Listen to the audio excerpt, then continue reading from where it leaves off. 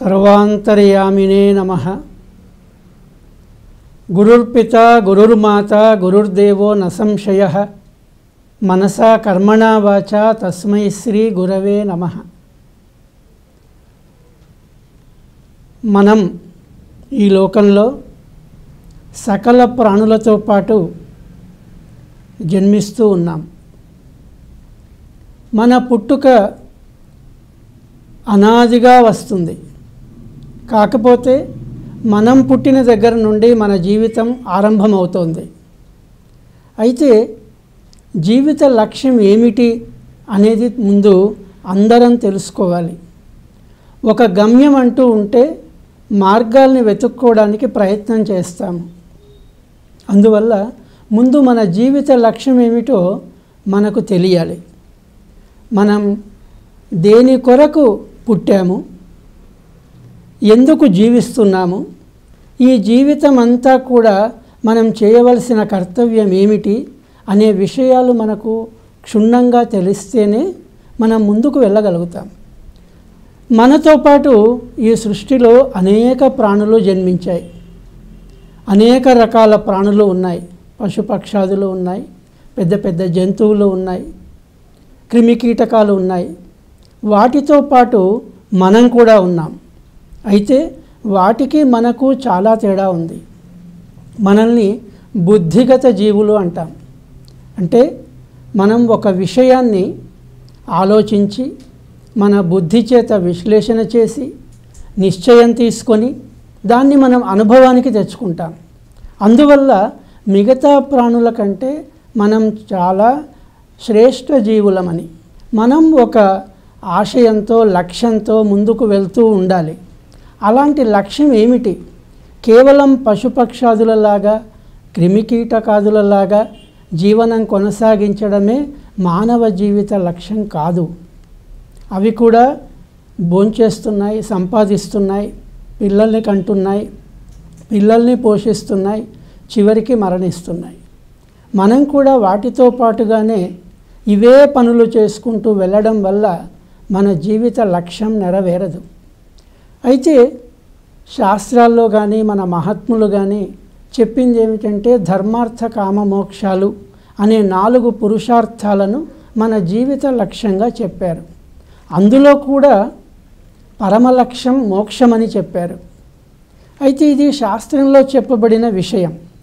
ప్రస్తుతం మనం ఈ ధ్యానప్రస్థం ద్వారా మనకు తెలిసిన జ్ఞానాన్ని మనం మనకంటే పూర్వీకులు మహాత్ములు చెప్పిన జ్ఞానాన్ని మన నిత్య అనుభవాల ద్వారా నిత్య ఉపయోగించే వాటి ద్వారా అనుభవంలోకి తెచ్చుకోవడానికి ప్రయత్నం చేస్తున్నాం.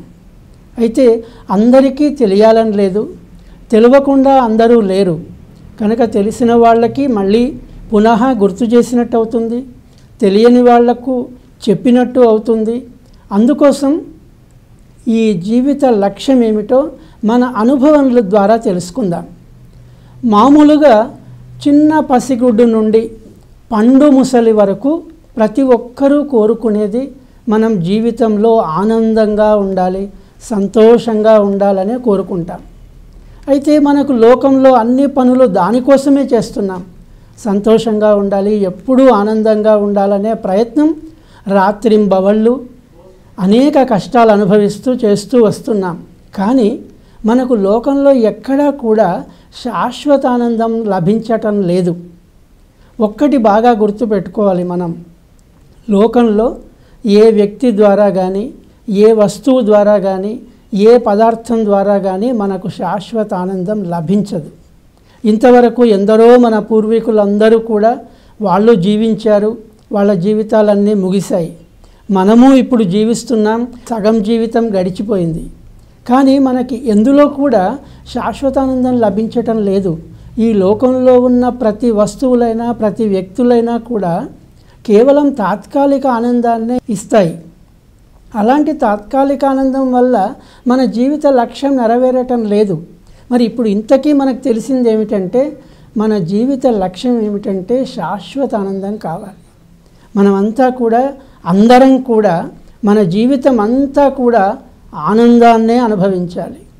ఒకసారి ఆ ఆనందాన్ని అనుభవించినట్టయితే మళ్ళీ ఎన్ని కష్టాలైనా ఎన్ని సుఖాలైనా నిరభ్యంతరంగా అనుభవించడానికి సిద్ధంగా ఉంటాం. అంటే కష్ట సుఖాలకి అతీతమైంది ఆనందం.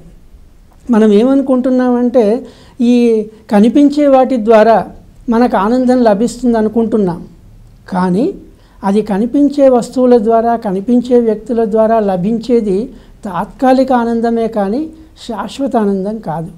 కనుక ఈ శాశ్వతానందాన్నే మన పెద్దలు మోక్షం అన్నారు. కనుక మోక్షం అంటే చాలామంది ఏమనుకుంటారంటే జీవితానంతరం వచ్చేది అనుకుంటారు.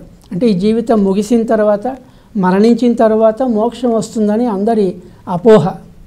కానీ అలా కాదు. మనం బతికి ఉండగానే మనం శాశ్వతానందాన్ని పొందవచ్చు.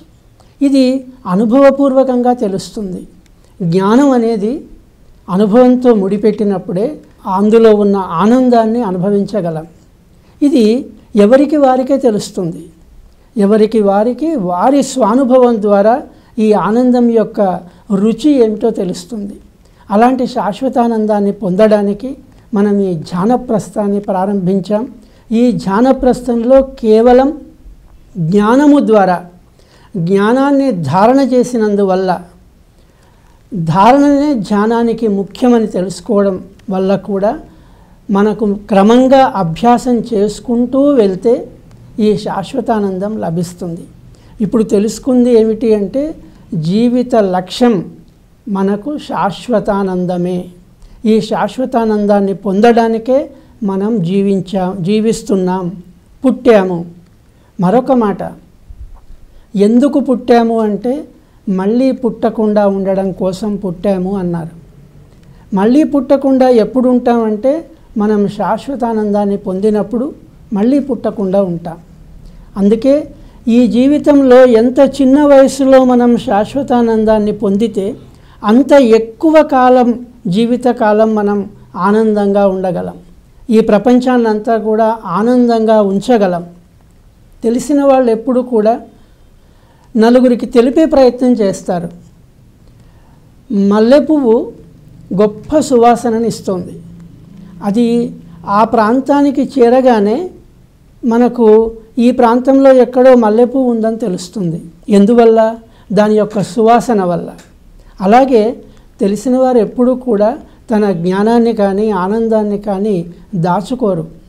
దాచుకుంటే అది దాగదు కూడా. అది ఆ పరిసర ప్రాంతాల్లో ఉన్న వాళ్ళందరికీ కూడా ఆ జ్ఞానము ఆనందము చేరుతుంది. అలాంటి జ్ఞానాన్ని ఆనందాన్ని మనం ప్రతి ఒక్కరము వీలైనంత వరకు పొందగలిగితే ఈ సమాజము ఈ సమస్త ప్రపంచం కూడా విశ్వశాంతి కూడా సుసాధ్యం అవుతుంది. అలాంటి జీవిత లక్ష్యాన్ని పొందడానికి మనం ఇంకా మునుముందు ఏమేమి సాధనలు చేయాలి ఎలా చేయాలి అనేది తెలియటమే జ్ఞానం. తెలుసుకోవడానికి ప్రయత్నం చేద్దాం. తెలుసుకుంటూ తెలుసుకుంటూ క్రమంగా అనుభవంలోకి తెచ్చుకుందాం.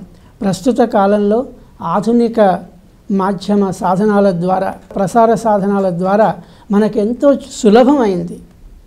అనేక వేదికలు ప్రచార సభలు నిర్వహిస్తే ఏ కొద్ది మంది మాత్రమే దాన్ని ఆస్వాదించగలుగుతారు. ఇప్పుడు ప్రతి ఒక్కరి హస్తంలో అరచేతిలో స్వర్గంలాగా ఈ స్మార్ట్ ఫోన్లు ఉన్నాయి ఈ ప్రస్తుతం మనం దాన్ని సద్వినియోగపరచుకునే ప్రయత్నం చేద్దాం. అందువల్ల మనం ఈ ధ్యానప్రస్థం అనే కార్యక్రమాన్ని అరచేతిలో ఉన్న స్మార్ట్ ఫోన్ ద్వారా మీకు అందరికీ అందించాలనే సదుద్దేశంతో సత్సంకల్పంతో ఈ నిర్వాహకులు కూడా సహకరిస్తూ సంపూర్ణంగా సహకరిస్తున్నందువల్ల ఇది సమాజానికి అందరికీ అందించే అవకాశం కలిగింది. సర్వే జనా సుఖినో భవంతు.